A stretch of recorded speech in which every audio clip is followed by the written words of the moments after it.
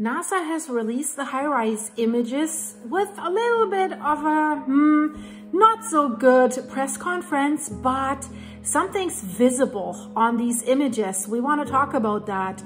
And we have an orientation of the plume around 3I Atlas in this HiRISE images that raises some questions.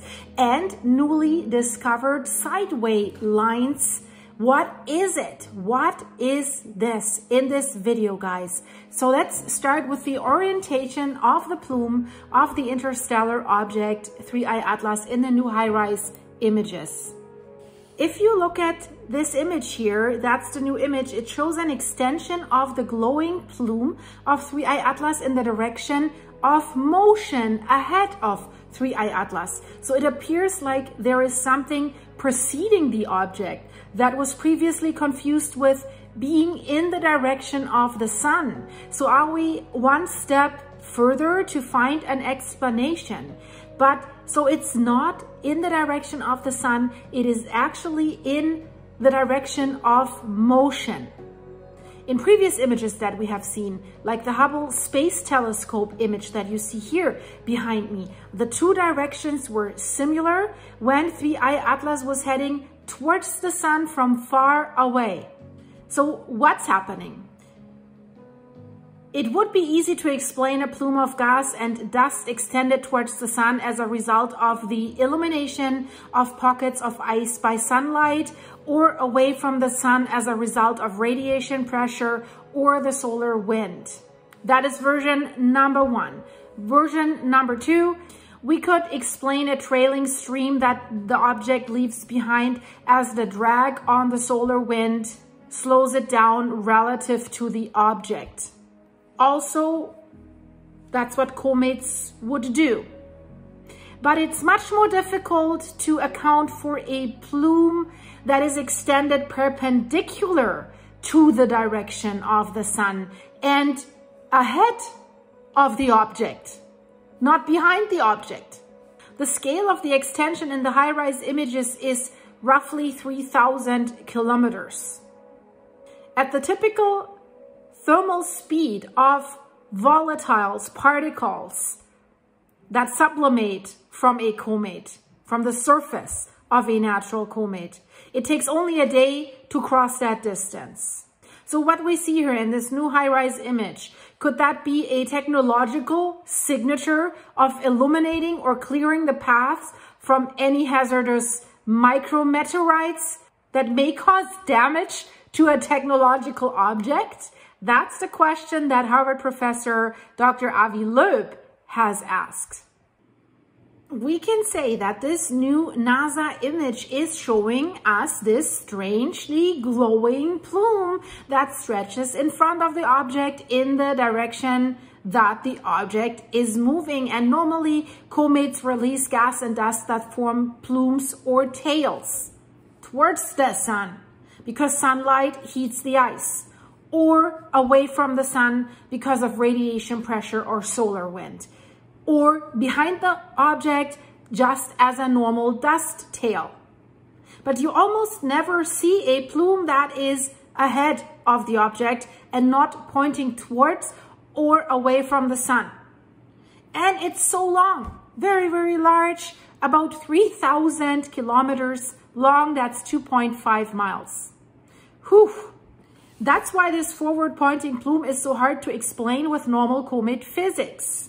That's why Avi Loeb has asked this speculative question. But what he really wants to encourage is, well, as science, we don't know it all. So we can't have the arrogance that we think we know everything about comets because this one is definitely different. And he says, don't rule out because this will eventually happen sometime. He says the plume might be a technological signature. You could imagine it similar to headlights or a clearing beam made by an extraterrestrial device traveling through space. It's not a proof, but it's basically um, a good question based on the strange direction of the plume. And then guys, we have a new image, current image taken on November 20th from our visitor 3i Atlas. And it shows something strange. an X-shaped pattern made of four lines. We have a tail and an anti-tail. Could be normal for comets along the sun object line. Two sideways lines, perfectly straight. One up, one down, almost like a cross. These sideways jets stretch about 1 million kilometers, which is huge, strangely huge. First explanation, probably just satellites. Avi Loeb says again, simplest explanation is that these vertical lines might be satellite streaks. Earth satellites are passing through this image during the long exposure when that image was taken. And he says it's likely that it's just satellites because the lines look exactly like satellite trails. So good, right? This would be good. So nothing abnormal here. But if the sideways lines are real and they're not satellites, which we can't rule out because we do not have any proof for any of these theories, then two big problems would appear.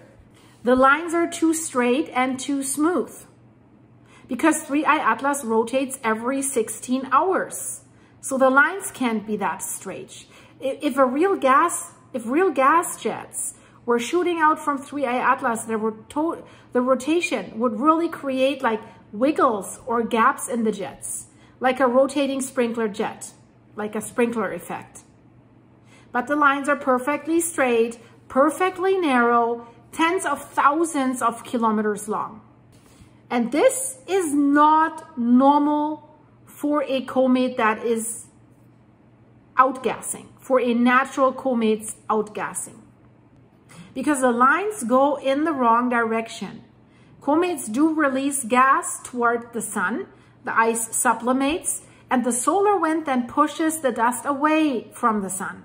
So normally everything happens along the sun and object axis. But these jets are 90 degrees sideways, which does not fit.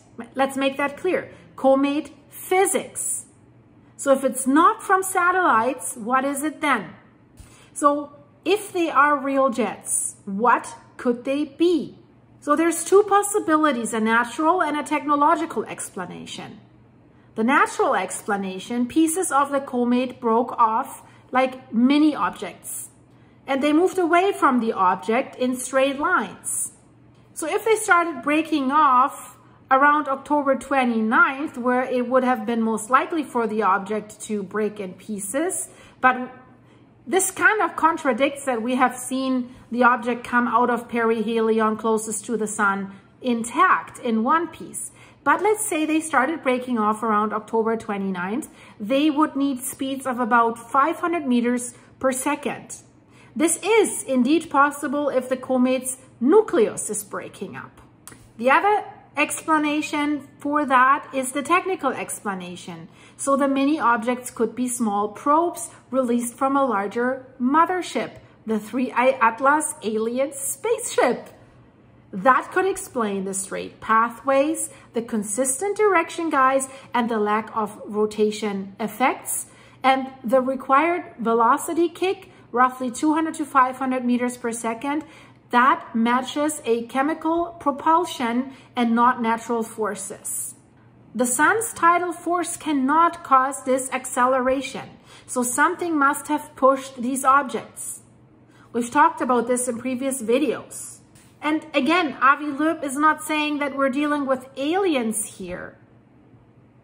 But he's looking at all possibilities. And I think by hearing the other possibility, it helps us really to understand better what we're dealing with here. Because if the sideways lines in these images are real, not satellite artifacts, then natural explanations are weak. We don't have any and technological activity becomes a possible explanation. So we need to wait for upcoming images to be able to confirm whether they are just satellite streaks, fragments of the comet, or something more unusual. And we will probably be able to know more by December 19th. If you want to see everything that's going on with 3i Atlas, guys, I have a playlist. It's in the end screen and I'll also put my last video in the end screen here. So thanks for watching. Hype this video. Please like it and subscribe, share it with your friends. And if you are interested in earthquakes, volcanoes, landslides, tsunamis, subscribe go to my start page, go to my On the Pulse with Silki page here on YouTube, click on videos and then binge watch them all or choose one of the four here in the end screen because then I see you in a second. And if you want to fill me up with coffee to keep me going, thank you so much for everyone who's doing this. Link is in the description because I'm having this coffee right now because I need to make another video for you. Very interesting topic. Stay tuned. I see you here in a second.